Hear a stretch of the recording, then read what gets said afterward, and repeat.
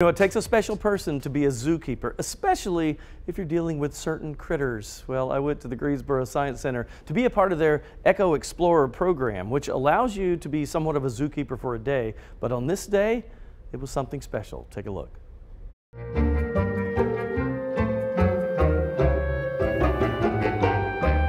All right, you can birds. you can sit that down. All right, there it is. My love-hate relationship. I, I, I am absolutely fascinated with spiders, but I'm also scared to death.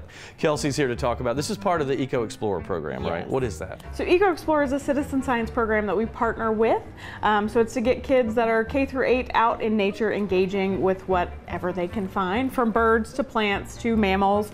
And this year we're actually starting a new badge called the Arachnology Badge. So we're going to talk all about spiders all through September and October. So it's going to be a lot of fun, a lot of new information for us as well, learning about all of those native spiders. Um, this not native, right? This a one is not native, yeah. a Mexican red knee tarantula. Her name is Rosa. Um, so she just lives here at the Science Center, um, living her best life. What you told, yeah, right? Well, she has the perfect life. She Yes. to do- um, tell me about how they defend themselves, because this So is yes, neat. it's one of my favorite things to talk about with this particular species and other species as well. But they do have all of those little hairs, particularly back on their um, abdomen there, and that is a defense mechanism that they can kick off those hairs, and they're very, very itchy. Um, and that's actually what itching powder was originally made out of. So whenever something's trying to attack them, they can kick those off. It creates an irritation, and I wouldn't want to be tangled with anything that's causing me to be itchy, so I would also let it go. So they get airborne and then just attach to your Yep, skin. just crazy. attaches All right, so them, when yep. I saw this, I thought you had one live, and I'm like, no. So I've got a couple molts here. So spiders um, have an exoskeleton. So when they grow, they can't just grow. It doesn't grow with them like it does for us. So they actually have to molt that exoskeleton. So here I have one of Rosa's.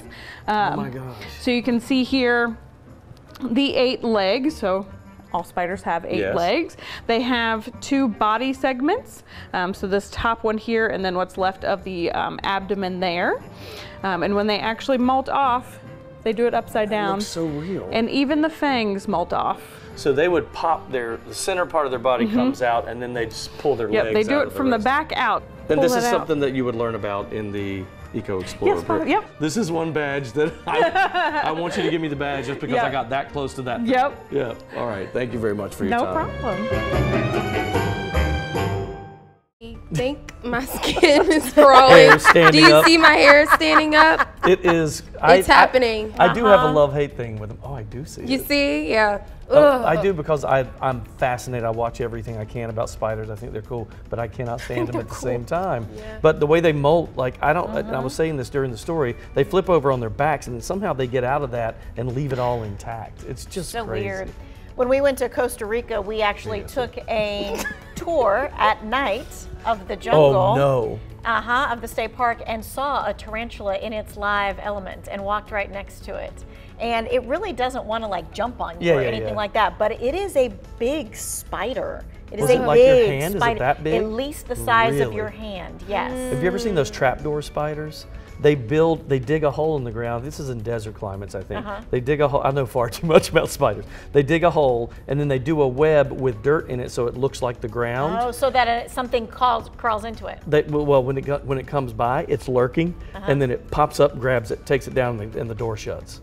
I mean, it's insane. Mm. Well, I mean, we all gotta eat. I'm really trying to fix my face. I don't want to look. I'm like, Cindy, you're on TV. Smile, have do the something, spider but I truly cannot. That's okay. So we you can't need to do this the this things. Eco Explorer program with I this. no, think she does not. not. She does But I just want a video. You don't have to do all the things, people. You just see. don't. See, you see, he just wants a I videotape. want a me. video. That's what,